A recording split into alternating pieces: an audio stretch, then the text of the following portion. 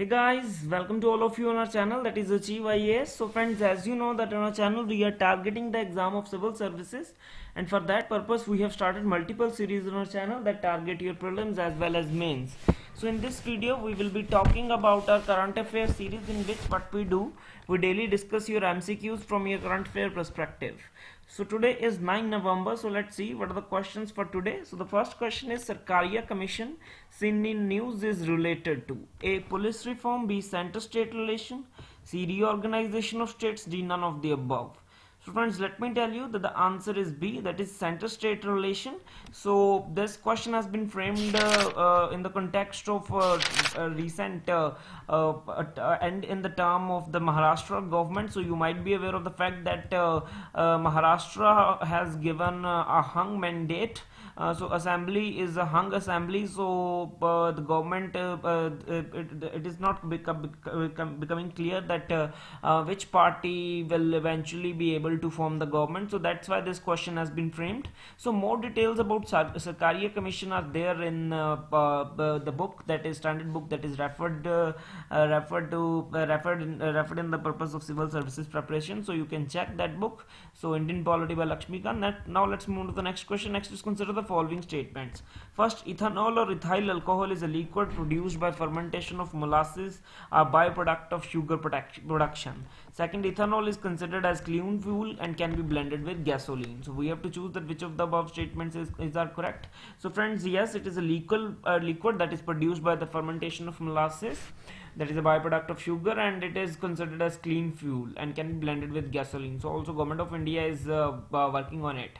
So uh, ministry of environment and forest has announced that uh, mills that would not require separate environmental clearance to produce additional ethanol from b heavy uh, molasses. So now this the mills that that will be that will be producing ethanol from these heavy molasses they will not be required to get environmental clearance. So the proposal is to take uh, undertake additional uh, ethanol production from B heavy molasses uh, would be considered under provisions of environmental impact assessment notification 2006 so ethanols and molasses are basically ethanol or ethyl alcohol. It is a liquid that you that has several uses. So it at 95% uh, purity it is called rectified spirit and is used as intoxicant uh, intoxicating ingredient in alcoholic beverages. So at 99% purity uh, ethanol is used for blending with petrol. So both products are made from molasses, a byproduct of sugar manufacturing. So uh, by, for making sugar, mills crush sugarcane which typically has a total fermentable sugars content of 14%. So more details you can uh, read by pausing the video. Uh, because uh, here discussing the entire detail will consume a lot of time and we have to discuss 10 MCQs relating to it. Now let's move to the next question. Next is Natanz and Fordo seen in news recently is located in which country?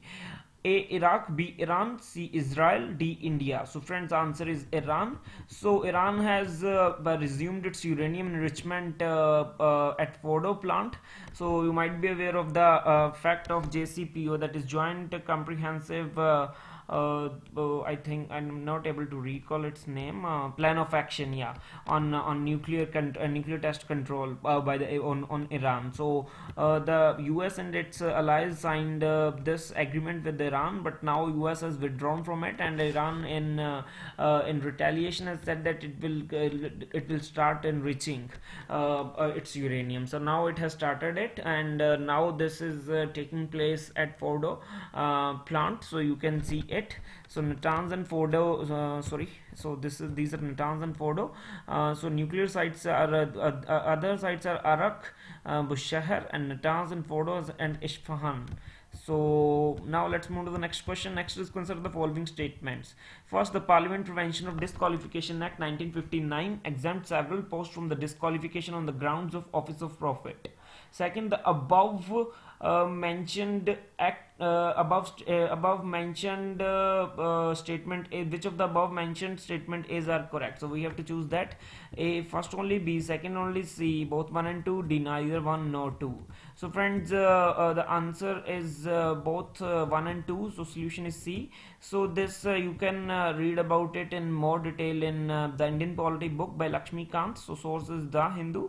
So now let's move to the next question. Next is freedom on net 2019 is released by a freedom house House, B. World Economic Forum, C. Amnesty International, D. None of the above. So friends, answer is A. Freedom House. So Freedom on the Net is basically an annual study of internet freedom. So record, uh, report features an overview of key key trends and emerging threats, and uh, global rankings and in-depth country assessment. So initially 15 countries uh, were covered in 2009 edition and now it has expanded to 65 or 87% uh, of the internet users worldwide. So countries are selected on the base of, basis of size of their internet population, their regional or global re relevance, and unique quality of their uni uh, of their national internet policy. So more than 70 analysts contributed to this edition.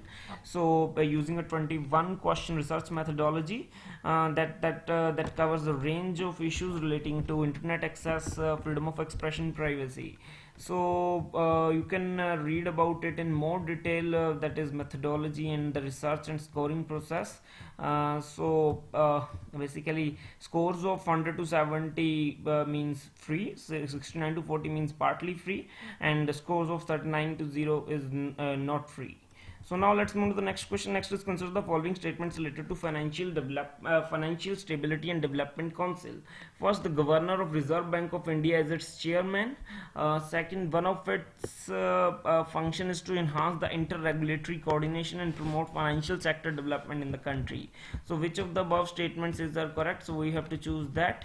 Uh, so the answer is friends only second so uh, the uh, FSDC meeting uh, uh, it, it, recently took place and it was chaired by Union Finance Minister so that's why this question has been framed so this council was constituted in 2010 and it was set up to strengthen and institutionalize the mechanism for maintaining uh, financial stability enhancing inter-regulatory coordination and promoting financial sector development so it is not a statutory body uh, and composition it is it is, it is chaired by Union Finance Minister and its members are Governor, RBI and Finance Secretary, Secretary, Department of Economic Affairs and then your Secretary, Department of Financial Services, Chief Economic Advisor, Ministry of Finance and other functionaries.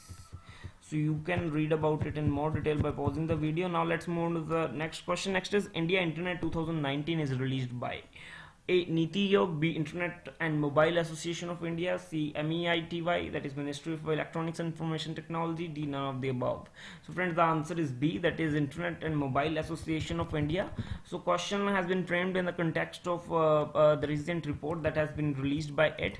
So internet penetration is defined as number of individuals aged uh, aged 12 per 100 population who who access the internet during a particular time period. So according to the report, internet penetration is highest in Delhi, followed by Kerala.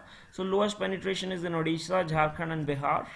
Uh, so you can read. Uh, it is. It also notes that Kerala, Tamil Nadu, and Delhi have the highest proportion of uh, female internet users, and then in terms of internet subscription per hundred population, Delhi, Punjab, Himachal Pradesh, and Kerala top the list. So lowest subscription is from Bihar and UP and Kerala is among the states with highest gap between number of rural and urban connections. So this is also in, uh, the case in Delhi and Himachal Pradesh. Now let's move to the next question. Next is Feni River seen in news is related is originating in the state of A. Mizoram, B. Manipur, C. Tripura, D. Meghalaya. So friends, the answer is C. So uh, this originates in Tripura. So Union Cabinet has recently given its ex post facto approval for a memorandum of understanding between uh, India and Bangladesh in which uh, uh, uh this uh, withdrawal of 1.82 cusecs of water from Feni River by India will be taken and for a drinking water supply scheme for Sabroom town in Tripura.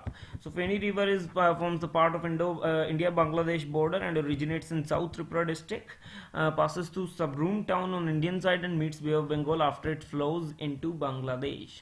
So dispute uh, has been there is no share water sharing agreement between the countries on this on this river that is Feni, and then dispute of the sharing of river water has been long standing. So it was taken up between India and Pakistan before independence of Bangladesh in 1958 during a secretary level meeting in New Delhi.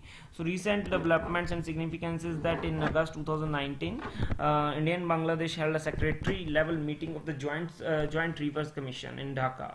So where it was agreed it was agreed to collect data and prepare water sharing agreements for seven rivers that is Manu, Mohuri, Khowai, uh, Gumti, Dharla, uh, Dudhkumar and Feni. So MOU stands to benefit Sabroom town on the southern tip of Tripura. So the present supply of drinking water to Sabroom town is inadequate so the groundwater in this region has high iron content. So that's why this implementation uh, of this scheme would benefit about uh, 7000 population of this town Sabroom town that is in Tripura. Now let's move to the next question. Next is India Justice Report 2019 is released by Law Commission B Tata Trust C Vidhi Foundation D Ministry of Justice. So friends answer is B that is Tata Trust. So India Justice Report it is uh, prepared by Tata Trust in collaboration with Center for Social Justice Common Cause and uh, Commonwealth Human Rights Initiative Daksh uh, TISS Prayas and uh, Vidhi Center for Legal Policy. So India, it is India's first ever ranking of states on justice delivery. So performance is listed topped by Maharashtra and it is uh, for Maharashtra is followed by Kerala and Tamil Nadu.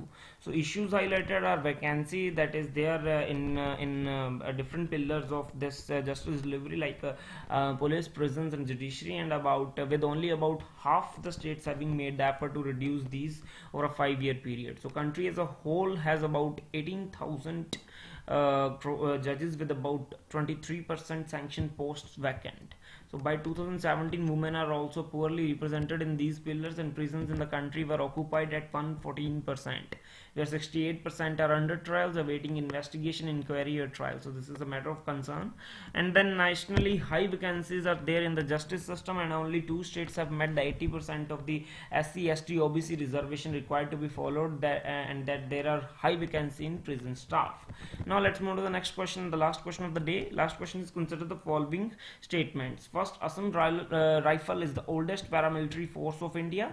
Uh, second, uh, Cachar Levy is former name of the Assam rifle.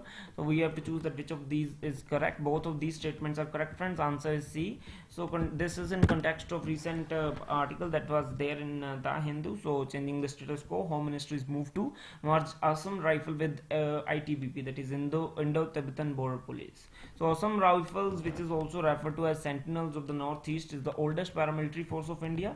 So its administrative control lies with Home Ministry while the operational control role is with defense ministry so friends this is all about uh, your today's discussion about, uh, about daily current affair mcqs so if you like this discussion if you like the video then do ensure that you like it share it with your friends.